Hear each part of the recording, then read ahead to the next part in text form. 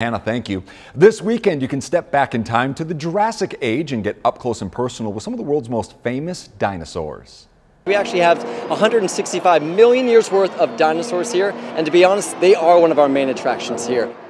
Very cool. South Wing A at the Expo Center, alive with everything prehistoric for the Jurassic Quest Dinosaur Experience. Kids and families can ride dinosaurs, take part in fossil digs, hang in bounce houses, and check out raptor trainings. Dozens of full-scale animatronic dinosaurs are part of the interactive experience.